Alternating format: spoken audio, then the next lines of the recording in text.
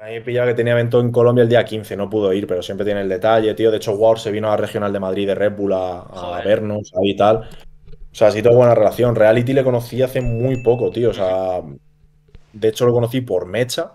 Anda, qué, qué, sea, qué cosa, ¿no? Más rara, verdad. O sea, sí habíamos coincidido en plan, eh, visto en FMS, que actuaba, tal, nos hablábamos y tal, no sé qué, pero no de hablar. Y justo se quedó Mecha aquí en mi casa, pues no sé si vendría alguna FMS o la de Murcia o algo así, no sé. Ujú. Y me dijo, nada, he quedado con el reality, vámonos de fiesta, no sé qué, que tal. Y yo, venga, vale, vamos. Y, y había quedado justo con el reality y ya estuvimos hablando y tal, y me cayó de puta madre.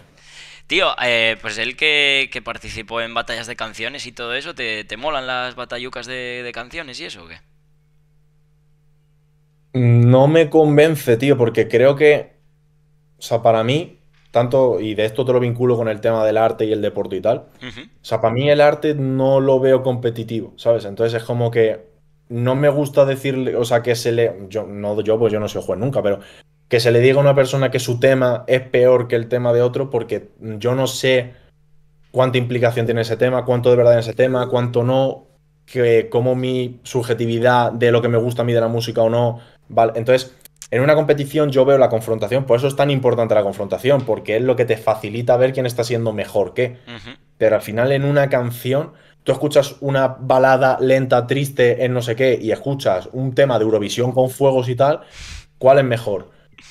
Es que no es mejor, tío, es te gusta o no te gusta, pero para mí es arte, y en el arte no es como que un cuadro es un 4 con 2 en skill y otro 4 es una trabada, es en plan, tío, es arte. Entonces para mí el arte es como compartirlo, como tal.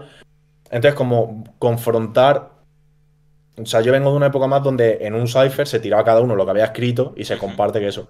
Entonces, que, que lo hagan está de puta madre. De hecho, mira, el reality le ha venido de puta madre y mucha gente, el Mario los códigos también. O sea, creo que hay mucha peña que le ha impulsado mucho y que, y que le ha venido muy bien.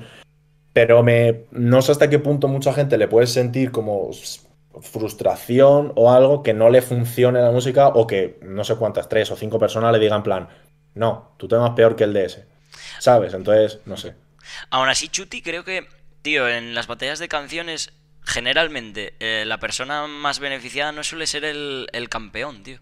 Si te fijas, eh, los temas que más bombo Mm, mm. han tenido a posteriori, eh, esas personas se han quedado por el camino y luego no han ganado esa competición. Entonces, bueno, tal vez Sí, sí, ese de sea... hecho el reality me contó que el tema que él se hizo mazo viral suyo fue, perdió, o sea, en plan de que no, no se lo pillaron. Ujú.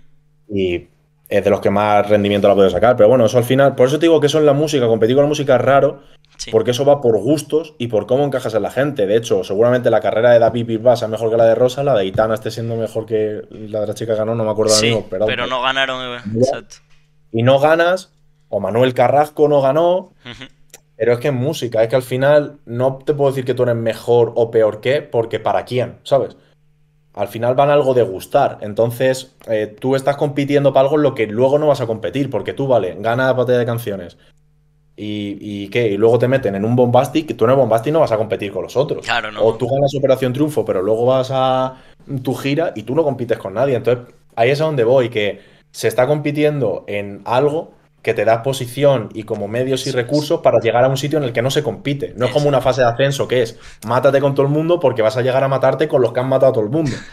¿Sabes? Sí, Entonces sí, es como lo que me choca un poco, pero bueno, si a la peña que participa le mola y a la gente que lo hace le mola y le sirve a los chavales, de puta madre. Pa'lante. Tío, y en algo dijiste durante la entrevista de las escritas, de que no te veías. eh, Hmm. ¿Me equivoco? ¿En escritas no te ves? ¿O es que hay que pagar demasiado?